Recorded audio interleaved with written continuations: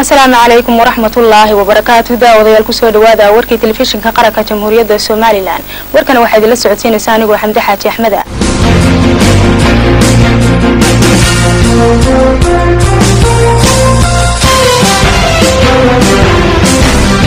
jaaliyadda reer somalilan ee ku dhaqan wadanka sacuudiga ayaa dareen cadhale ka muujiyey habdhaqanka telefishinka universalkaasi oo ay ku sheegeen inuu qaatay mashruuc raqiis ah oo lidi ku ah qarannimada jamhuuriyadda somalilan war amuurtaasi ku saabsanna waxaa halkaasi nooga soo diray. Waryahayaga cabdirasaaq isaaq ducaale jaaliyadda somalilan ee ku dhaqan dalka boqortooyada sacuudi arabiya ayaa si mugyo miisaanle u soo dhoweeyey xayiraadii uu saaray telefishinka universal. Wasiirka warfaafinta iyo wacyigelinta mudane cabdilaahi daahir maxamed cakuse telefishinkaas oo caaraystay in uu wax ka sheego qarnimada iyo jiritaanka somalilan sidoo kale iyagoo cambaareeyay hadalkii ka soo yeeray gudoomiyaha xisbiga mucaaradka injineer faysal cali waraabe waxaa halkan ka hadlaya maxamed odaal shaqraan xusaane waxaan la hadlayaa universal t v.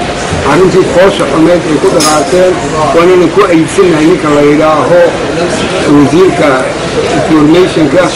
Waanu ku aybsanahay joojintu joojiyey dibna in loo furo xaquma midna waan u sheegayaa nimankan baarlamaanka ninkii baarlamaanka ka hadlayey. Waxaan leenahay ninkaa baarlamaanka ka hadlayay constitutionka somalilan baa leh ragama xada caalamka inaynu maaragtay inagu ilaa wayna qabanaya ayayna qaban maayo constitutionka innagaa leh xamar looma samaynin. Markaa taana isku hobta nin tahay. Faysalna waxaan leeyahay. Faysalo in badan baad hadlaysa. Soomaaliya in badan bay ku arkaysa.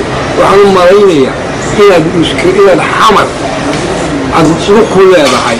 Ninkaaga maanta adigoo soomaaliyana telefisyon la xiray xarfad ka samaynaya oo dhibaato dadka ku gelinaya xaqna uma lihid dowladdu waxay qabatana sharci baa jira. Dowladdu waxay doonto iyadaa qaban karta. Adigu xaq uma lihid inaad ka hadashid arrimo aadan shuqul ku lahayn wasiir ma tihid waxaan ka hadlayaa tv-ga la xidhay ee mashaakilka la yimi. Oo aan maanta qura ahayn markii afraad ama markii saddexaada ama buuhodla ha ka soo duubo ama kalshaala ha ka soo duubo ama meel kale ha ka soo duubo. Ama ha lagu sheego dhilooyin waxaan ka xumahay tv-gaas horay ahayd in loo xidho adwaantana haddii la xidhay waanu ku aydsannahay cafuse waxaan taageerayaa oo aan siboosanahay qarankii maanta uu kaga joojiyey ama uu kaga qaaday ruqsadii. Wasiirka akusi runtii waxay ahayd tv-gaas universal yidhaahdo in beri hore ruqsadda laga qaado waayo had iyo jeer wuxuu ka shaqeeya dalka somalilan qarannimadiisa inuu hadaalka wax ka sheego ayuu had iyo jeer ka shaqeeya ama oo borogaraamadiisa iyo maxay ahay kaleya siyaasad laga dambeeyo oo anigu aan filaayo inay ka dambayso dowladda soomaaliya ayuu had iyo jeer ula dhaqmaa qaranka reer somalilan sidaa aawadeed waxaan jeclahay in aan laga qaado ruqsada dibna loogu soo celiyo haddii dadkii dalka lahaa baan nahay waan ka naxaynaa waxay ku midiyeen ma doonayno inay hadaala ka dhigaayo dalka ay dhexdiisa joogaan. Marka waxaan leenahay dadkana ka qaada dibnay hoogu furina. Haddii xitaa hoojis bixiyo saasaan leenahay waxaan kaloo ku darayaa faysal cali waraabe gudoomiyaha faysal aadna ku salaamayaa xumadee waa tahay inaadan ley haboon tahay inaad telefisoonkii qaranka reer somalilan aad tidhaahdo waa gubaya kii dalka wuxu dhimayey ee haddii aada ku yihaade ka shaqeynaaye ee qarannimadeenna iyo dowladnimadeenna iyo dadnimadeenna lidiga ku ahaa kaa inaad taageerto kii dalka ee qaranku lahaana aad tidhaahdo waa gubaya hadalkaas inaad xageebaanbaldilisugu noqo anigu anigu wax kale ma odhanayo intaasaan ku soo gaadinaya hadalka aan ku bal dilisugu noqaad dilisku raajic maskaxdaada aada iyo aad baan uga xumahay waanan cambaaraynayaa. Falkaa lagula kacay qaranka iyo madaxweynihiisa waxaanan u sheegayaa maamulaha t v-ga universal. Inuu somaliland aanay la mid ahayn maamul goboleedada soomaaliya ka jira oo ay tahay jamhuuriyad iskeed u madax bannaan oo adduunyadu ay og tahay oo si fiican ula xidhiidho oo buuxisay wixii dal lahaan jiray. Hadduu isagu uu ku dheeldheelo aal axmed madoobe iyo faroole iyo ninkan baarlamaanka haystay jawaari dee adan axmed sinaayo madaxweynahaygu ma aha nimankaasoo kale ma aha.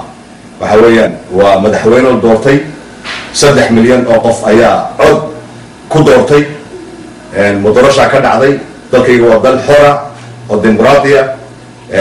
Waxa weeyaan qaran buu madaxweyne u yahay doorashuu ku yimid kuma iman haddii ka dhigo toban nino inta meel fadhiisteen magacaabay. Marka waxaan aada iyo aad baan horta ugu taageersanahay. Wasiirka warfaafinta mudane cabdilaahi daahir. Tallaabada uu ka qaaday. Faysal wuxuu yidhi tv-ga qaranka waan weerarayaa waa dee tv-ga qaranka ma laha kulmiyana ma laha. Madaxweynaha masiiraayna ma laha. Waa hanti qaran weeyaan. Waa berito inaad madaxweyne noqotaabaa mumkin noqon karta suuragal. De markaa taa tv-ga qarankaa weerarayaa markaa dadku muxuu ku arkayaa? Waa hadallada aan aada iyo aad aad dadku uu ula yaabaysan yahay ee uu amankaag uu la la yaaban yahay. Marka waxaan leenahay faysal had iyo jeer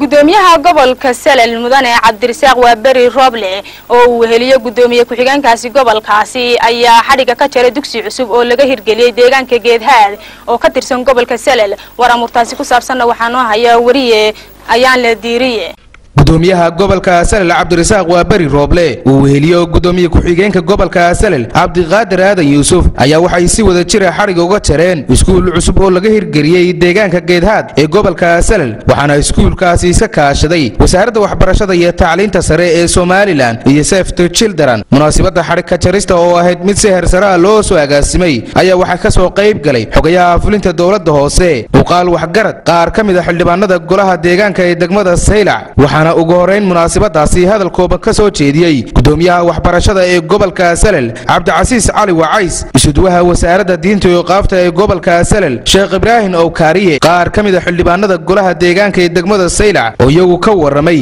dadaalka dheer ee wasaaradda waxbarashadu ugu jirto koruqaadidda waxbarashada gobolka salel maanta waa markii ugu horreysay halkaa iyo ingiriiskii talyaanigii faransiiskii ummadihii dhulka yara dadku way mariyeen waa laag mariyay waa rag dhacoo geedaha bay dul saarteen xarahoodaa la lahaa maanta laakiin wixii ka baxeen waxaa laga doonaya inay dayac tirtaan oo ilaashadaan oo ku dadaalaan jaamacada ma lahayn dugsi laga baxa ma lahayn dhul wuxuu iska lahaa iska dayacay wasaaraddii waxbarashada noo samaysay. Saamseem ha noolaato. Ha noolaato. Habadeedna waxay intaa ay noo qabatay waxay noogu weli baan doonaynaa inay noogu darto dhulyaabo badan oo caynkaa ah jira oo gobolka sala oo iyaguna aan waxaa lahay inay noogu darto gabadha. Aakhirana ma ilowna ifkana ma ilowna ilaahayna jannada ha siiyo ha noolaato. Iskuulkaas uu maanta nasiibsaday kutub ay u soo darday wasaaradda diinta iyo awqaafta gobolka iyadoo gabagabo ahayd ayay nasiib wanaag u heleen intii maadaragtay qayb ahaan. Insha allah waanu keeni doonaa rooko badan iyo maadaragtay iyo wixii kale ee iskuulku baahda waxa kale oo munaasabadii xadhigka jaristaasi soo afmeeray oo soo xidhay gudoomiyaha gobolka salel cabdirasaaq waa beri rooble oo mahadnaq ballaadhan u soo jeediyey. Wasiirka wasaaradda waxbarashada iyo tacliinta sare marwe samsam cabdi aadan oo uu ku ammaanay dadaalka waxqabad ee la garab joogto gobolka iyo deegaanada somalilan. Wasiirka wasaaradda waxbarashada marwe samsam xaaji aadan oo iyadu dugsigan binaysay ama dhagax dhigtay ama dhistayba waa markii u horreysay bariisle ay hesho iskuul. Nasiib wanaag muntad ama ka gurmaday wasaaradda waxbarashada ee qarankan somalilan oo runtii xil weyn weyn iska saartay dugsiganina binaysay waxaan leeyahay waa mahad aan la koobi karayn. Annaguna ka gobol ahaan waxaan ballan qaadaynaa.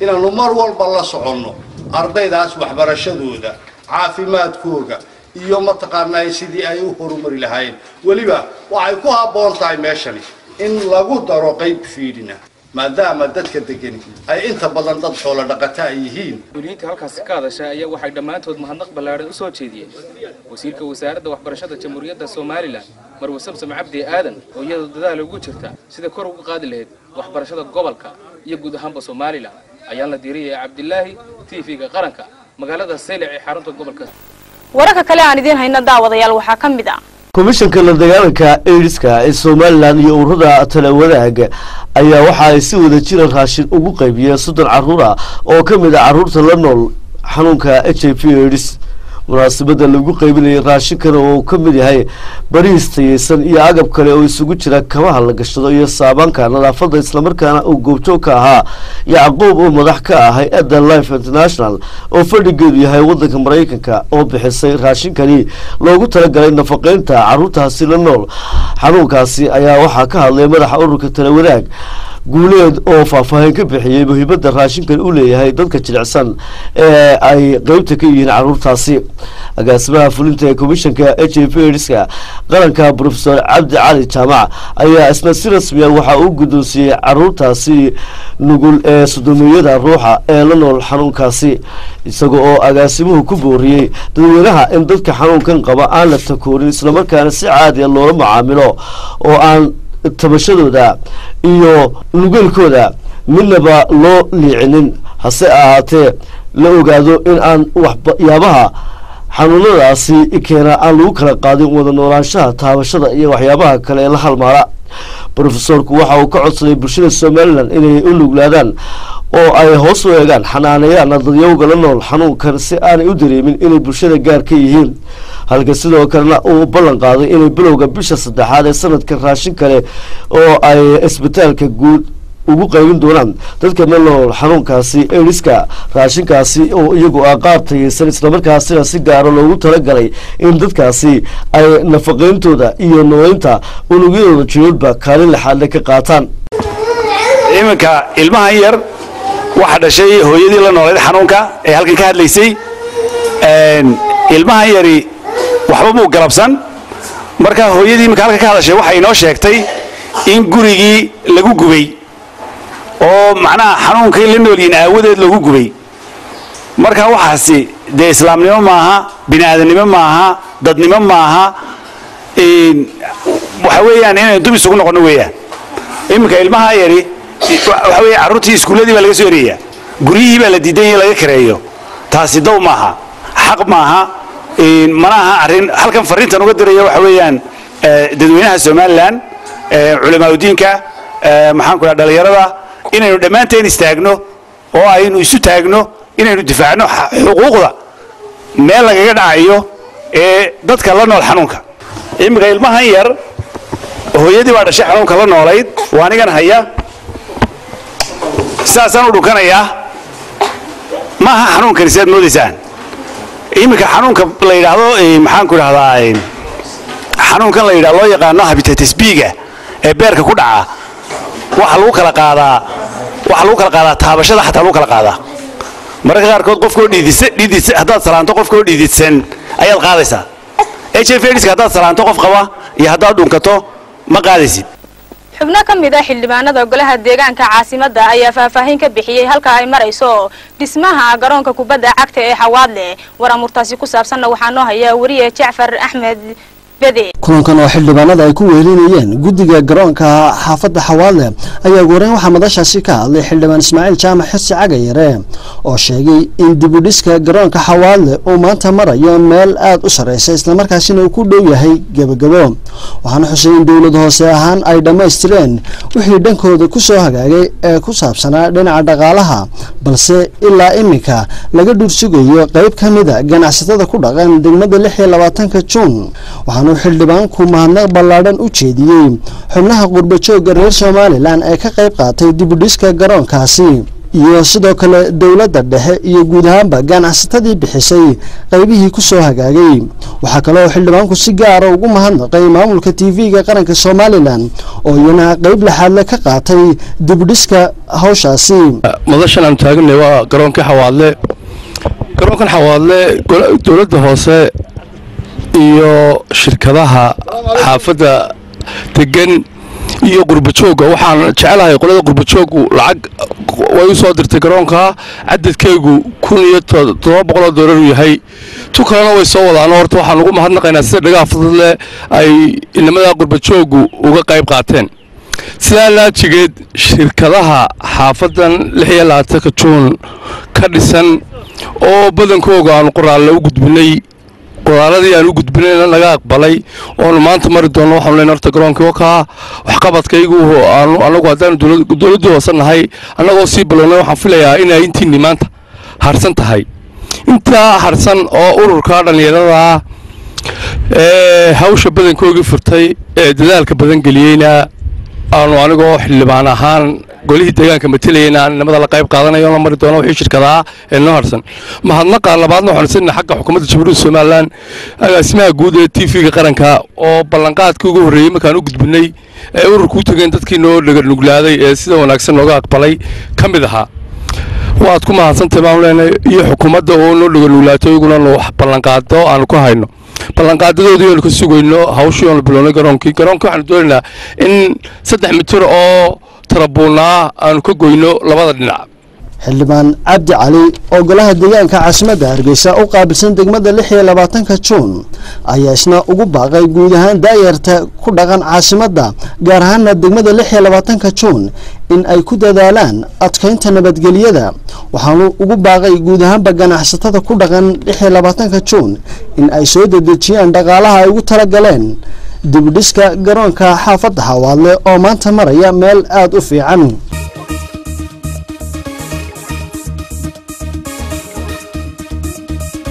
ciidamada biliiska ee magaalada nairobi ayaa dil toogasho ah ku dilay laba ka mid ah afar burcada oo isku dayay inay dhax ku sameeyaan bangiga lagu magacaabo baglas bank ee ku yaalla bartamaha magaalada nairobi. Afartan burcada ayaa waxaa la sheegay in mid ka midii uu hore u galay bangigaasi baglas bank halka ay saddexda kalena bannaanka ku sugayeen. Ilaaladii bangigaasi baglas bank oo goobta ku sugnayd ayaa kadib markii ay ka shakiyeen. Ninkaasi gudaha ku jira isku dayey inay bannaanka u soo saaraan halkaasi oo isagu markaasi isku dayey in uu la soo baxo baastoolad balse mid ka mid a ciidamada booliska oo goobtaasi ku sugnaa uu dhaawac uu u geystay kadib dagaal dhex maray ciidamada booliska iyo saddexdii bannaanka ku sugnaa ee burcadda ahaa ayaa waxaa toogasho ay ku dileen laba ka mid ah kooxdaasi burcadda ah. Mid ka mid a saraakiisha sarsare ee ciidamada booliska ee magaalada nairobi oo ka warbixiyey arrintaasi ayaa waxaa faahfaahintiisii ka mid ahayd sida tan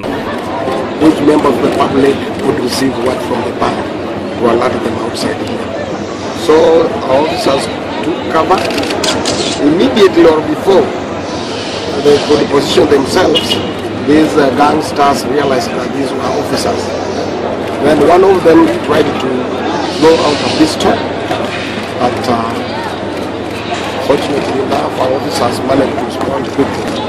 Maaha markii ugu horraysay ee sidanoo kale ay kooxaha burcadka ah ee ku nool magaalada nairobi ay isugu dayaan inay dhax ka geystaan. Goobaha ganacsiga ee ku yaalla bartamaha magaalada nairobi islamarkaasina sidanoo kale dil loogu geysto. Cabdilaahi cabdicali tv-ga qaranka jamhuuriyadda somalilan nairobi daawadayaashada qiimaha iyo qadarinta naga mudana war wixii dalka gudihiisa iyo caalamkaba naga soo gaadhay oad ka daawanaysaan telefishinka qaranka jamhuuriyadda somalilan waa naga intaasi tan iyo intayn dib ugu kulmi doono warkan warka xiga waa anigoo xamdi xaaji axmed oo idinku dhaafaya ammaana allah iyo nooli kulan